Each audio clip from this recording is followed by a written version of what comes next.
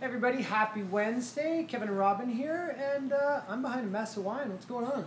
Oh man, this is the most exciting week for me. I love Northern Italian Good. wines, and uh, Pelassa is my newest favorite thing we've got to the shop. I think it's the most gratifying thing, right? Is when you get new stuff in and you get to introduce people to brand new wines that have like never been in Alberta or maybe even Canada before, especially when they're really exciting things like this and mostly affordable things like this, right? Oh my gosh, yeah. It's easy to get the high end, sort of expensive stuff in, but I get really excited when I can introduce people to grape varieties that I love from regions that I really love at prices they can actually afford to grab a mess of wine. Mm-hmm. So what do we got? Where do you want to start? I feel like we got uh, we got Oh, some work to do here. Okay, well let's start by talking about Pelassa first of all, because that is right. really the reason behind why we It made is. the pack and what we're featuring for the week. All these beautiful labels. Beautiful labels. Love them.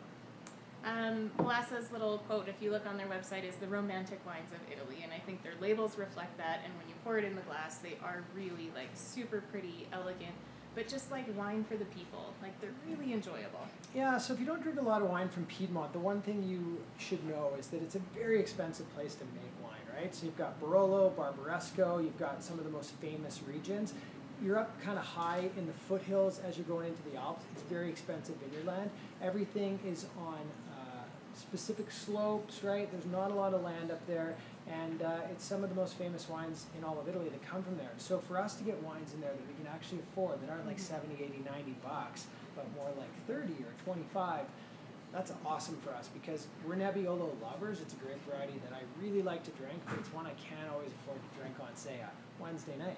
A hundred percent. And I think that's the most exciting thing about the entry level wines for them, the Mario's label. So you've got the white there, got the red right down here. Fun label. Um, do you know kind of the story behind the bike and why it's on here? I feel like I did, but now I feel like I forgot. so why don't you remind me and everyone else? So I loved it and I loved reading about it. So Mario, when he actually started the vineyards, he started in 1960.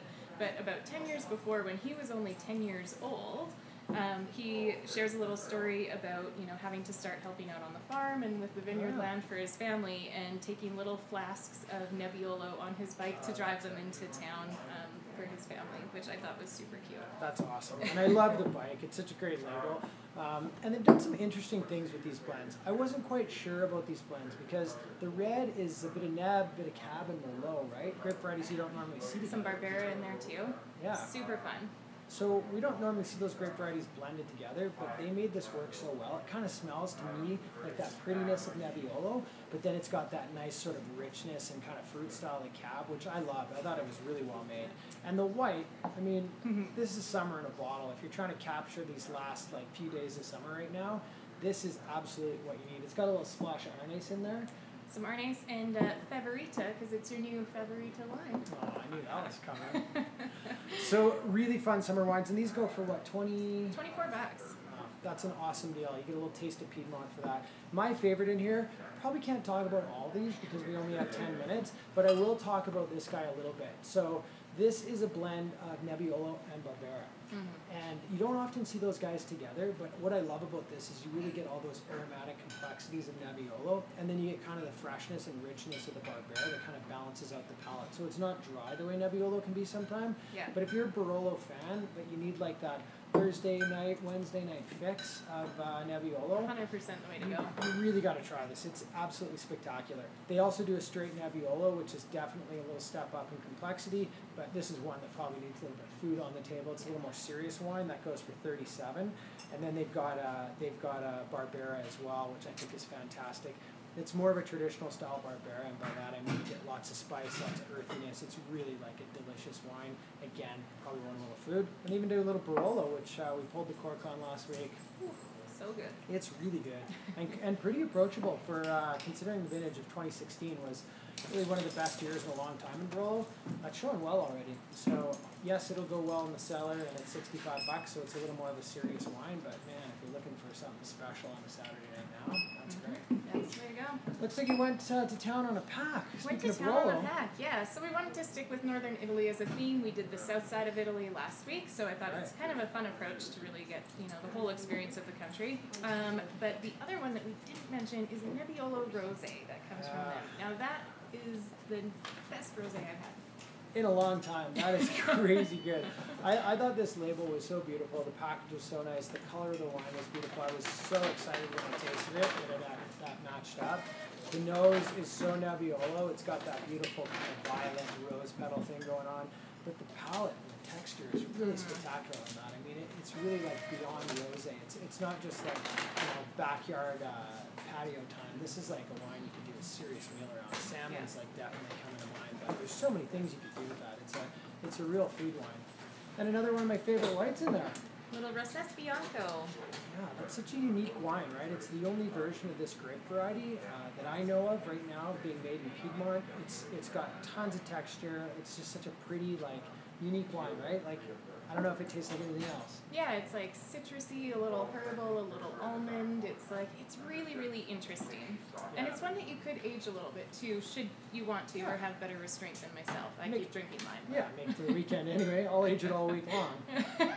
You threw a little Marengo in there. I did. Marengo's a classic for us, right? So, I mean, we were just talking about Barolo. It is one that if you are going to get into it um, right away, you know, certainly decant it, put it with some Yeah. food. But if you want like something a little bit more special, that's one that you can, you know, pick up the pack, save 25 bucks on the whole lot, and then um, sock that downstairs for a couple years. Yeah, or you know, get a little something on the barbecue on the weekend, and that'll At do too. And then you snuck this one in. I knew you'd, I knew you'd try to fit that one in somewhere because I know how much you like it. I do. Uh, Slayton is actually the uh, vineyard. Thank you. I've been practicing. but Schiava is the grape, and I love this one. I love to pop it in the fridge and chill it down a little bit. It just Yeah. adds a bit of like freshness and juiciness. Um, really kind of lifts the fruit component to it and softens the acidity. This is a really really fun little wine. And then of course from Alto Adige, um, and same with Castel Sallegg. We did the Pinot Grigio in there too. Oh, I snuck that in there too. Yeah. All right, a couple from Sallegg. Sallegg's a winery that we've been working with for probably 20 years, and I love their wines. They're, they make Pinot Grigio interesting. That's how good they Totally. are, right? And the Bischoff Slayton is a really, really interesting wine. If you haven't had Schiava before, it's a neat grape variety. Lots of color, lots of spice, Mhm. but it's really light on its feet. If you're a bit of a wine geek and like to try all the grapes, don't miss Schiava. It's a fun one. And, You're a uh, bit of a wine geek, the whole pack, really. I mean, we've got Yeah. Nebbiolo, Rosé, Rosés, Schiava. What's the pack going for?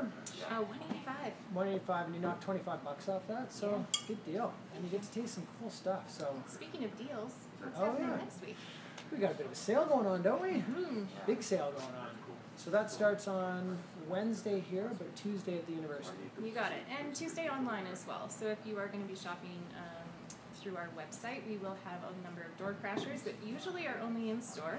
Yeah, Uh, but we're going to pop them online as well this time. nice touch because there's some killer deals in door crashers I saw this year. So you're gonna save like 25, 30 percent on some of those. So there's some Yeah. amazing buys in there. So jump online and have a look at those starting on Tuesday and deliver them to your house for free. And it doesn't get any better than that. So have a look, and if not, come down on sale day because you always know gonna have some fun stuff